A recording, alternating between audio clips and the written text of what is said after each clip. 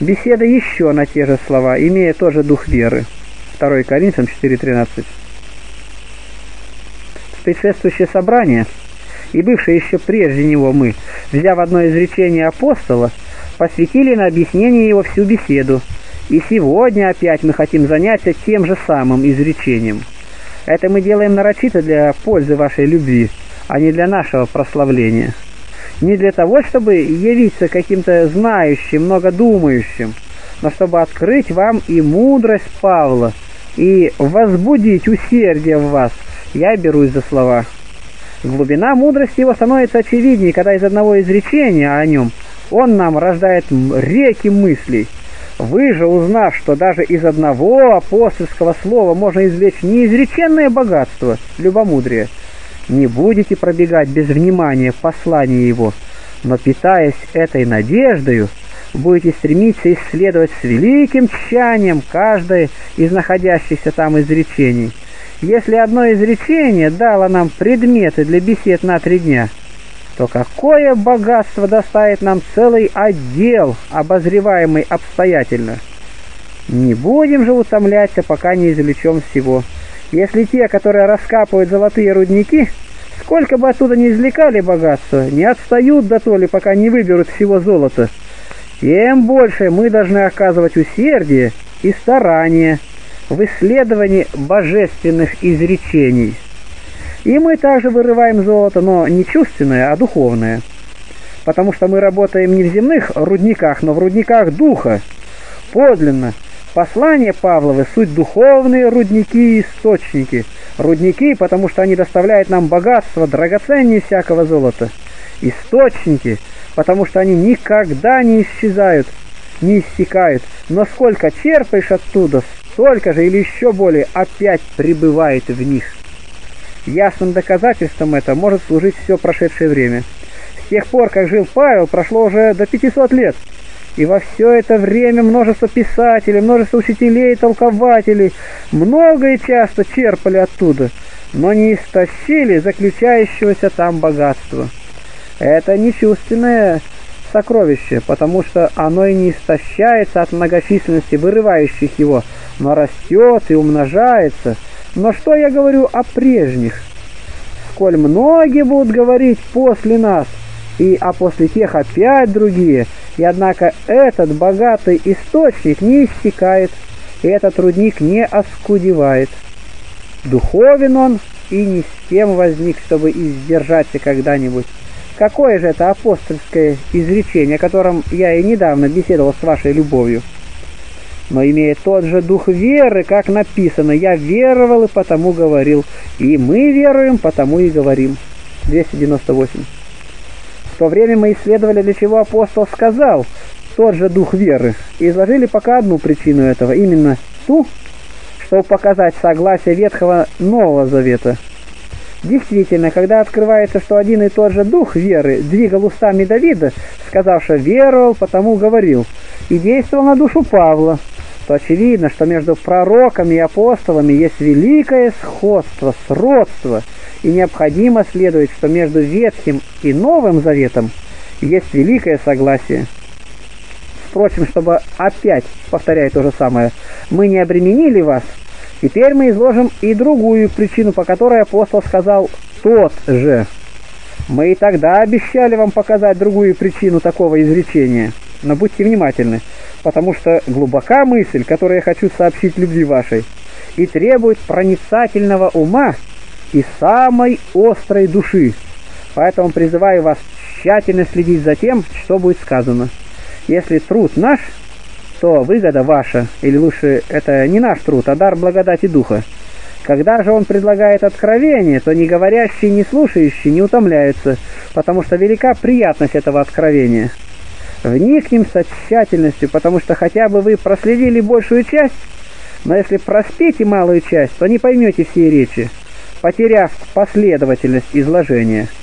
Как не знающие пути и нуждающиеся в руководстве других, хотя бы долго шли вслед за ними, но если по кратковременной невнимательности потеряет путеводителя, то не получает никакой пользы от прежнего следования за ним и останавливается, не зная, куда идти. так и следящие за говорящим, если, прослушав почти все поучение, будут невнимательны только малое время, то, потеряв всю последовательность речи, не в состоянии уже дойти до конца мыслей. Поэтому, чтобы и вам не потерпеть того же, слушайте с одинаковым вниманием все, что будет сказано мною, пока не дойдем до самого конца. Итак, для чего апостол сказал, имеет тот же дух веры? Он хочет показать и то, что как в Ветхом, так и в Новом Завете вера есть матерь благ. Впрочем, необходимо начать речь несколько отдаленнее. Тогда эта причина будет для нас гораздо яснее. В чем же состоит эта причина? В то время, когда апостол говорил такие слова, Великая война окружала верных, война тяжкая и непрерывная. Повсюду восставали против них целые города и народы, враждовали все властители, вооружались цари, поднималось оружие, изощрялись мечи, выступали войска, вымышлялись всякого рода казни и мучения, разграбление и отнятие имуществ, ссылки, ежедневные смертные казни, пытки и темницы, огонь, железо, звери, виселицы, колесо, пропасти, утесы — и все, что только можно придумать, употреблялось для истребления верных. Но война не остановилась на этом, потому что не только она была воздвигаема врагами, но и самая природа разделилась с собою. Отцы восставали на детей, дочери ненавидели носивших их в чреве, друзья отвращались от друзей, война мало-помалу проникла в круги родных и в семейство. И было тогда великое смятение во вселенной. Как корабль в то время, когда поднимутся волны, соберутся тучи, разразятся громы, со всех сторон окружит судно мрак, взбушует море, поднимутся чудовища, нападут морские разбойники, и сами плывущие на корабле восстанут друг против друга. Не может избежать опасности, если высшая, сильная и великая десница не отразит смятение и прекратит бурю, доставит тишину плывущим. Так точно было и тогда, в начале проповеди. Не только отвне поднималась буря, но и внутри часто восставали друг против друга. Кто говорит это? Сам Павел, который пишет «Внутри брани, снаружи страхи». А это что было? Действительно так, что учителей и учеников окружали бесчисленные бедствия, и война простиралась на всех. На это я привожу опять свидетельство Павла. Вы же помните все сказанное – чтобы, узнав опасности, искушения и бесчисленные бедствия, в которых пребывали тогда верующие, вы больше благодарили за это Бога, который рассеял все эти бедствия и даровал глубокий мир, прекратил войну и устроил великую тишину, чтобы никто из беспечных не думал избегнуть наказания, и никто из добродетельных теперь не превозносился.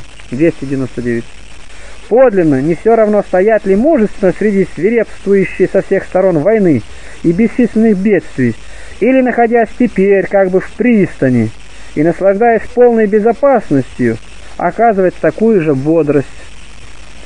Тогда верующие находились в положении нисколько не лучше того, как мореплаватели, колеблемые в море и застигнутые бурею.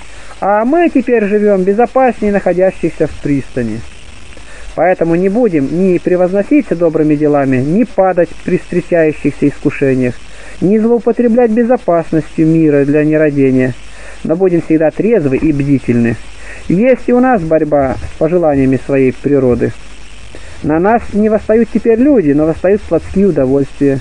Не поднимается войной у властителей и цари, но поднимается гнев, честолюбие, зависть, клевета и бесчисленные душевные страсти – Будем же, освободившись от тех искушений, преодолевать эти. Я для того напомнил вам о тягостях тогдашних времен, чтобы и теперь, находящийся в скорби, получил от того достаточное утешение и, наслаждающийся полным спокойствием, не испытав их опасностей, оказывал великое усердие в борьбе против непристойных помыслов, потому что все это писано в нам в назидание, утешение и ободрение.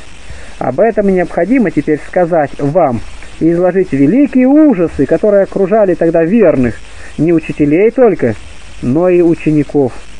Послушай же, что говорит Павел в послании к евреям. Вспомните первые дни, когда вы, бывшие просвещены, выдержали великий подвиг страданий. Не проходило даже краткого времени, но тот час с самого начала оглашения и наставления постигали их искушения, и немедленно после крещения они подвергались опасностям. А что именно терпели они? Послушай, терпя озлобление, поношение, все оплевывали их, презирали, осмеивали, вышучивали, называли глупыми и несмысленными за то, что они, оставив отеческий образ жизни, приняли новое учение. А это немало для поколебания души, если вера не укоренена глубоко, потому что ничто так не уязвляет душу, как позор. Ничто так не терзает душу и сердце, как насмешки и злословия. Многие мужи часто падали от посрамления. Говорю это теперь для того, чтобы мы твердо соблюдали веру. Если тогда, когда вся вселенная оскорбляла верующих, они не падали, то тем более должно твердо содержать учение истины теперь, когда вся вселенная перешла на нашу сторону. А что они не только твердо стояли среди обвинений и поношений злословия, но еще и радовались, терпя это. Выслушай рядом стоящие, и разгромление имений ваших, говорит апостол, приняли с радостью. Видишь, как и имущество их были отнимаемы в древности, и для всех желавших обижать были они жертвою. Так он говорит в послании к евреям.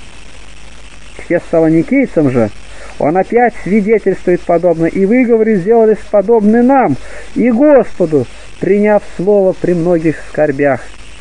Смотри, и эти были скорби, и не просто, но в скорбях многих сильное было искушение. Непрерывная опасность, не дававшая ни на малое время перевести дух тогдашним подвижникам. И однако, терпя это, они не досадовали и не приходили в отчаяние, а даже радовались. Откуда это видно? Из слов Павла, потому что сказал, в скорби многих он прибавил с радостью Духа Святого – 1 Фессалоникийцам 1.6, объявляя, что искушения причиняли скорбь, но причина искушений производила в них радость. Для их утешения достаточно было осознавать, что они терпели это за Христа. Поэтому в тогдашних христианах я не столько удивляюсь тому, что они терпели скорби, сколько удивляюсь тому, что они радовались, претерпевая скорби для Бога. Душе благородной и боголюбивой свойственно терпеть скорби и зло страдать, но мужественно переносить искушение и благодарить того, кто попускает скорби. Это знак величайшего мужества, это свойство души бодрственной и свободной, освободившейся от всего человеческого. И не здесь только, но и в другом месте. Желая показать, сколько бедствий терпели тогда верующие от близких и с родственников, что было тяжелее всего – апостол говорит так, 1 Фессалоникийцам 2.14. «Ибо вы, братья, сделались подражателями церквам Божьим во Христе Иисусе, находящимся в Иудее, потому что и вы тоже претерпели от своих единоплеменников, что и те от иудеев. Вот и война, и притом война междуусобная, которая причиняет гораздо большую скорбь. Если не враг поносит меня, как говорит Давид, Псалом 54, 13, 14. «Это я перенес бы. Не ненавистник мой величается надо мною, от него я укрылся бы. Но ты, который был для меня то же, что я, друг мой, близкий мой, с которым мы разделяли искренние беседы и ходили вместе в Дом Божий». Это происходило тогда прообразовательно, поэтому они имели нужду в великом утешении – Павел, замечая это и видя, как управляемые им страдают и подвязаются, изнуряется величием бедствий и терпят скорби от непрерывных ударов различным образом, и ободряет их мысли и говорит, «Ибо не неправедно перед Богом воздать оскорбляемым вас, а вам оскорбляемым отрада вместе с нами». Также говорит Господь близко, ни о чем не заботьтесь, и также к евреям. И не отлагайте дерзновения вашего, ибо терпение нужно вам еще немного, и обещавший грядущий не умедлит. Затем, укрепляя их в терпении, прибавляет «Еще немного!» и не умедлит. Как дитя, расплакавшееся, сетующее, ищущее матери, кто-нибудь из находящихся при нем утешает, говорит «Еще немного, подожди!» И мать непременно возвратится. Так и Павел, видя тогдашних верующих сетующими, горько плачущими и желающими пришествия Христова по причине невыносимой тяжести бедствий, в утешении говорит «Еще немного, совсем немного, и грядущий придет и не умедлит». 302. Итак, отсюда ясно, что ученики страдали, терпели бесчисленные бедствия, и как бы агнцы в самой середине волков подвергались нападениям со всех сторон. А чтобы ты удостоверился, что и учителя их испытывали не меньше, но еще тягчайшее страдание, потому что чем более они противодействовали врагам истины, тем более возбуждали против себя гонителей. Выслушаем и это от того же, кто говорил нам предыдущее. В послании к Коринфянам он так говорит. Второе послание, шестая глава, третий, пятый стихи. «Мы никому ни в чем не полагаем притыкания, чтобы не было порицаемо служения, но во всем являем себя как служители Божии, в великом терпении, в бедствиях, в нуждах, в тесных обстоятельствах, под ударами, в темницах, в изгнании, в трудах и бдениях, в постах, в чистоте, в благоразумии, в великодушии, в благости, в Духе Святом, в нелицемерной любви. Видишь ли, сколько он исчислил подвигов, какое множество искушений. Далее, в послании к ним он говорит, служитель ли Христовы, в безумии говорю я более.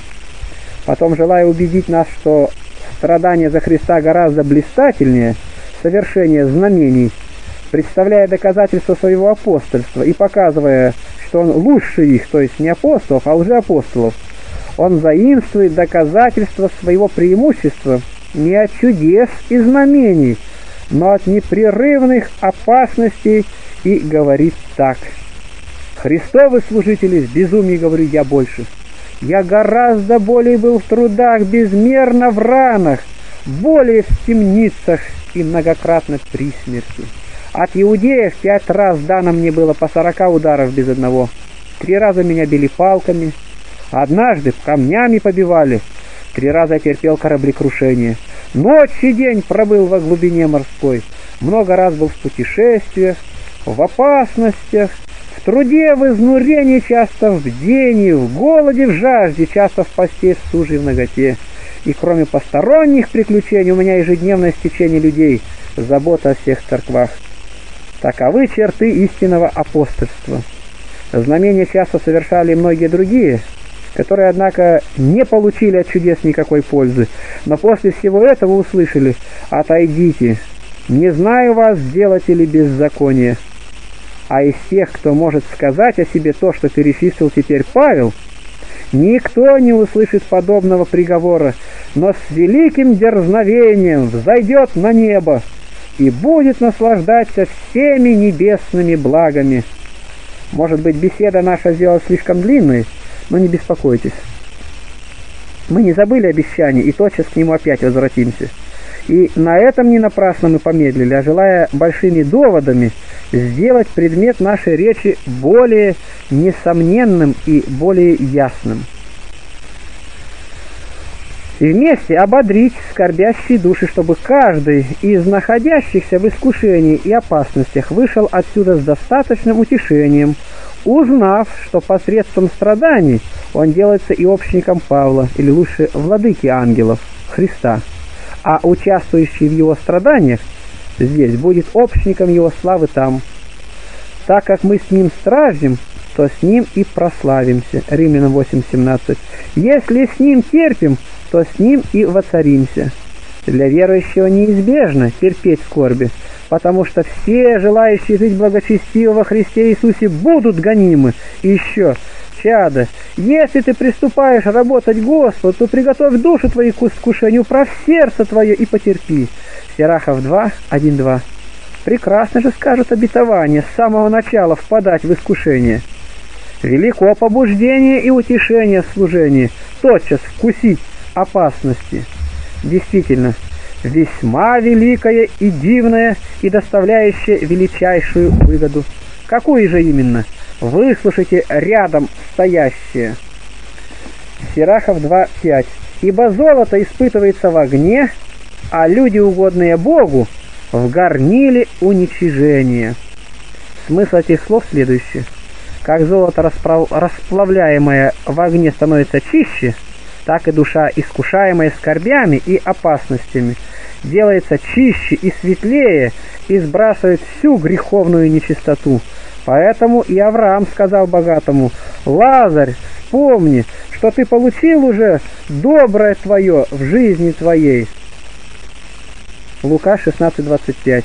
И Павел в послании к Коринфянам, 1 к Коринфянам 11.30 говорит так, «Посему многие из вас больны, и немало умирает. Ибо если бы судили себя, то не были бы осуждены. Судя же, наказываемся от Господа, чтобы не быть осужденными с миром. И блудника он предал во измождение плоти, чтобы дух был спасен, показывая, что от настоящего искушения происходит спасение, и что опасности служат величайшим очищением души для тех, которые переносят их с благодарностью. Итак, мы достаточно показали, что верующие, как ученики, так и учители, испытывали скорби и терпели бесчисленные бедствия и не имели отдыха ни на малое время, будучи окружены со всех сторон различными и разнообразными нападениями. А кто любознателен, тот может и больше сказанного прочитать об этом в божественных писаниях. Теперь обратимся к нашему предмету. А о чем предположено было сказать? О том, для чего Павел сказал, имея тот же дух веры. Для чего же он сказал это? Учеников смущало то, что бедствия были на опыте, а благо в ожидании. Первые в действительности, а последние в отдалении. И одно происходило, а другое ожидалось. И удивительно ли, что некоторые так чувствовали тогда, в начале проповеди, если и теперь, спустя столько времени после того, как проповедь распространилась по всей Вселенной, после того, как получено столько доказательств этих обетований, многие также чувствуют. Не только это смущало их, но и нечто другое, не меньше того. Что же именно? Они думали в себе, что в Ветхом Завете дела устроялись не так, но проводившие праведную и целомудренную жизнь немедленно получали воздаяние и награды за добродетель, потому что не по воскресении тел и не в будущей жизни, но здесь же, в настоящей жизни, исполнялись для них все обетования. Второзаконие 7.13 и возлюбит тебя, и благословит тебя, и размножит тебя, и благословит плод чрева твоего, и плод земли твоей, и хлеб твой, и вино твое, и илей твой, и рождаемое от крупного скота твоего, и от стада овец твоих на той земле, которой он клялся отцам твоим, дать тебе. Благословен ты будешь больше всех народов. Не будет ни бесплодного, ни бесплодной ни у тебя, ни в скоте твоем и отдалит от тебя Господь Бог твой всякую немощь, и никаких лютых болезней египетских, которые ты видел и которые ты знаешь, не наведет на тебя, но наведет их на всех ненавидящих тебя. Пошлет Господь благословение свое на житницы твои, откроет небо и даст тебе дождь ранний и поздний. И молодьба хлеба будет достигать у вас собирания винограда, и собирание винограда будет достигать посев. Левит 26, 4, 5. И много других подобных Бог давал им обетований, которые все избывались для них в настоящей жизни. Кто сообразительнее, тот уже предвидит разрешение вопроса так как телесное здоровье, плодородие земли, многочадие и доброчадие, маститая старость, превосходное состояние времен года, благополучие, благовременные дожди, изобилие мелкого и крупного скота и все вообще блага не спосылались им в настоящей жизни, и ничего не оставалось в надежде или подшествии отсюда, то верующие, представляя себе, что предки их немедленно получали все блага, а им все награды и венцы отложены до жизни будущей, и все блага обетований известны только по вере, утомлялись и ослабевали, будучи принуждены проводить всю настоящую жизнь среди искушений. Поэтому Павел, представляя это вместе с великостью, постигавших их бедствий, то есть что им Бог обещал награду за труды по отшествии отсюда, а предков их вознаграждал здесь, и замечая, что от таких мыслей происходит в них многие беззаботность, хотел подкрепить их и научить, что и при отцах их дела устроялись таким же образом, и многие получали награду только верою, и для этого напомнил им пророческое изречение, сказав, имея тот же дух веры, как написано, веровал, потому говорил. Он как бы так говорит, и великий Давид, этот дивный и благородный пророк, получал воздаяние верою, а не на опыте, иначе он не сказал бы «веровал» и потому говорил, потому что вера есть осуществление предметов ожидаемых, но не видимых, а кто видит что-нибудь, тот, конечно, уже не ожидает. Следовательно, если он веровал, то веровал ожидаемому. Если же он веровал ожидаемому, а ожидаемое еще не видно, то он еще не получал того, чему веровал. Поэтому апостол и говорит, имеет тот же дух веры, то есть ту же веру, которая была в Ветхом Завете, имеем и мы. Поэтому и в другом месте он говорит, беседуя о тогдашних святых, скитались в милотях, козьих кожах, терпя лишения, скорби, озлобления, которых не был достоин весь мир. И далее научаясь, что они бедствие терпели, а наград еще и теперь не получили, он прибавляет, все они умерли с верой, не получив обещано, но только издали видели их и радовались. Как же они видели их, скажи мне, когда они еще не осуществились? Очами веры, проникающими небо и созерцающими все там находящееся. 305.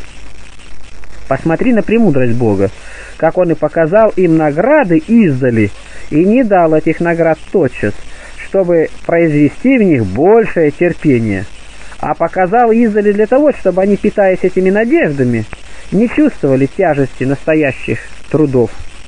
Но, может быть, кто-нибудь из более проницательных слушателей подумает, что беседа моя противоречит сама себе.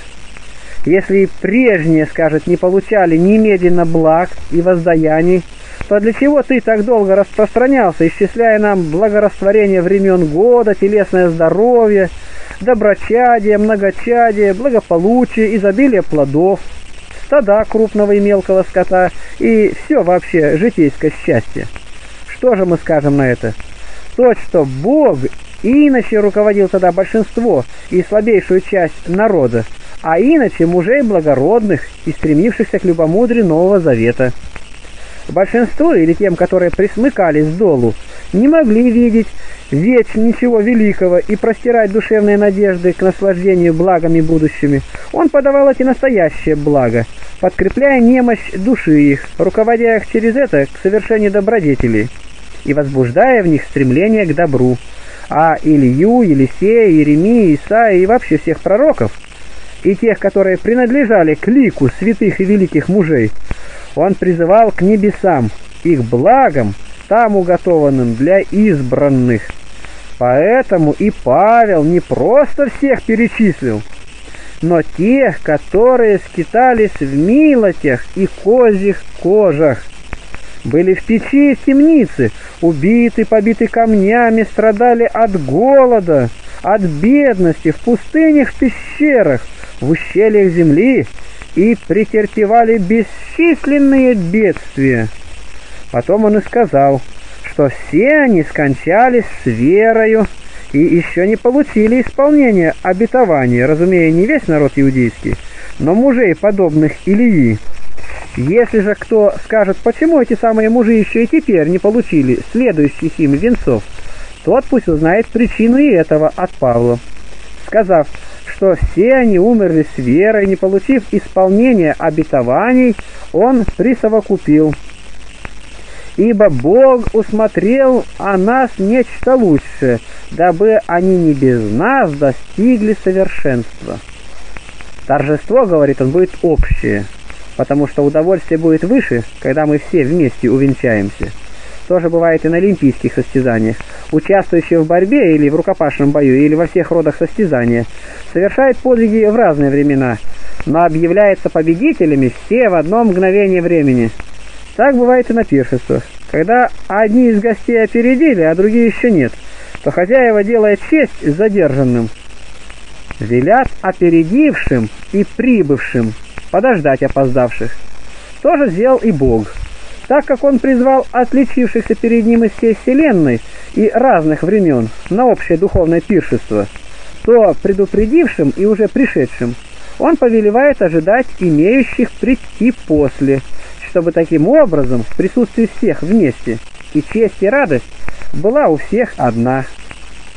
Подумай, сколько чести, если Павел и подобные ему, Авраам и подобные ему, еще прежде него за столько лет подвязавшиеся и побеждавшие, сидят теперь, ожидая нашего прославления.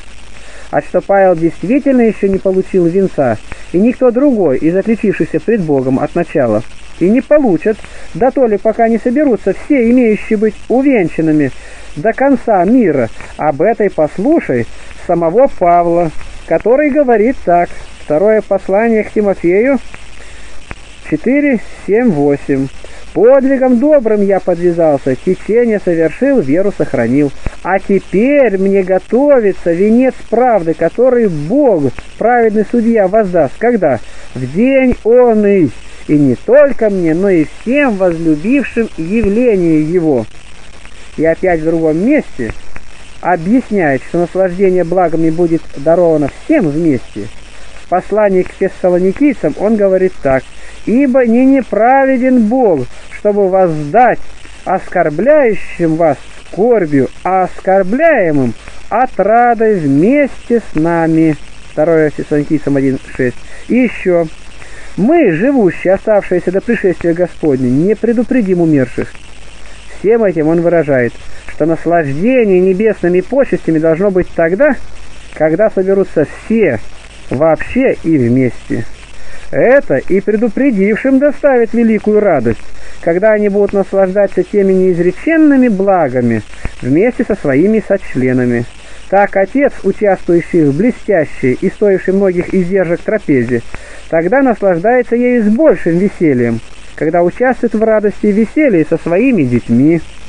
Так и Павел и все подобные ему будут чувствовать большую сердечную радость, когда будут наслаждаться ею вместе со своими сочленами, потому что не такую нежность отцы оказывают детям, какую имеют заботливость те о людях, совершающих одинаковые с ними добрые дела.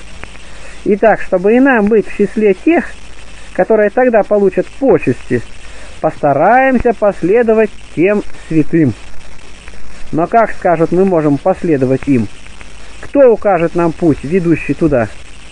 Сам владыка святых, который не только научает нас последовать им, но и сделаться сожителями и сообщниками всех их. Приобретайте себе, говорит он, богатством неправедным друзей, чтобы они, когда вы обнищаете, приняли вас в вечные обители. Лука 16.9. Хорошо, сказал он, вечные. Здесь хотя бы у тебя был великолепный дом, он непременно разрушится, обветшавший от времени. Или лучше еще прежде разрушения его от времени – Приключившаяся смерть изгонит тебя из этого великолепного жилища. И часто даже прежде смерти какие-нибудь хлопоты или нападения и замыслы клеветников заставляют выйти из него.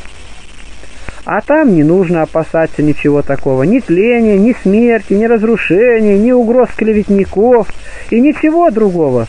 Но это незыблемое и бесконечное жилище, поэтому он и назвал его вечным – «Приобретайте себе друзей», — говорит он, — «богатством неправедным». 307. Посмотри, какое человеколюбие! Владыка, какого благость и справедливость его! Он не напрасно высказал такое прибавление. так как у многих богачей богатство собрано грабежом и жадностью, то он говорит, это дурно, и не следовало тебе так собирать деньги. Но так как ты уже собрал, то отстань от грабежа и жадности и воспользуйся для должного своими деньгами. Не то я говорю, чтобы ты грабе оказывал милостыню, но то, чтобы ты, прекратив жадность, воспользовался богатством для милостыни и человеколюбия. Кто не удержится от грабежа, тот не может совершать и милостыни. Но хотя бы он отдавал множество денег в руки нуждающихся, деньги других, грабя и жадничая, он будет сочтен Богом наравне с человека-убийцами. Поэтому нужно наперед отстать от жадности и тогда подавать милостыню бедным. Велика сила милостыни, о которой мы беседовали с вами и в прежнем собрании, и теперь буду беседовать. Впрочем, пусть никто не принимает частого напоминания об этом за укоризну слушателям. И в состязаниях зрители поощряют тех из бегущих, которых видят находящимися ближе к награде и имеющих многие надежды на победу. Так и я, видя, что вы всегда с великим усердием принимаете слова о милостыне, и сам чаще предлагаю увещание об этом. Бедные врачи наших душ, благодетели и предстатели, потому что ты не столько даешь им, сколько получаешь. Даешь серебро, а получаешь Царство Небесное. Облегчаешь бедность и примиряешь себя с владыкою. Видишь ли, что воздаяние неравномерно. То на земле, а это на небе. То гибнет, а это остается. То тленное, а это выше всякого тления. Для того отцы наши и поставили бедных перед дверями молитвенных домов, чтобы один вид бедных мог даже в самом нерадивом и бесчеловечном пробудить воспоминания о милостыне. Когда здесь стоит сон стариков, сагбенных, набросивших на себя рубище, иссохших, загрязненных, с палками, трудом могущих держаться, часто и слепых, и изувеченных всем телом, то кто будет таким каменным, таким адамантовым, чтобы устоять против этой старости, немощи, увечья, бедности, жалкой одежды и вообще всего преклоняющего его к состраданию, и остаться не поддающимся на все это. Поэтому они и стоят перед нашими дверями видом своим сильнее всякого слова, склоняя и призывая входящих к человеколюбию. Как в преддвериях молитвенных домов обыкновенно устрояются умывальницы, чтобы идущие молиться Богу сначала омыли руки и тогда простирали их на молитву. Так и бедных отцы поставили перед дверями, подобно источникам и умывальницам, чтобы мы, как умываем руки водою, так, очистив наперед душу человека любием, потом приступали к молитве. Подлинно не так вода по природе своей омывает нечистоты тела, как милостыня силою своею обтирает нечистоту души. Поэтому, как ты осмеливаешься войти на молитву с неумытыми руками, хотя и меньше это вина, так не входи никогда на молитву без милостыни. Притом, часто, имея и чистые руки, мы не простираем их на молитву, не омыв их наперед водою. Такова привычка. Тоже будем делать и с милостынью. Хотя бы мы и не сознавали за собой никакого великого греха, однако будем очищать свою совесть милостынью. Ты на торжище приобрел себе много дурного.